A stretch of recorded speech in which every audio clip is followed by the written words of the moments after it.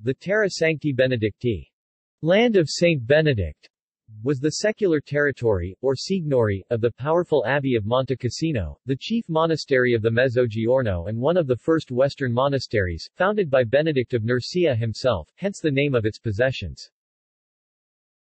The secular holdings had their origin in the donation of Gisulf II of Benevento in 744. The Terra was not large, it formed a basically contiguous zone around the hill of Monte Cassino, but it was valuable land and the site of many battles and many wars. It was immediately subject to the Holy See and constituted its own state. In 1057, Pope Victor II declared that the abbot of Monte Cassino had preeminence over and above all other abbots.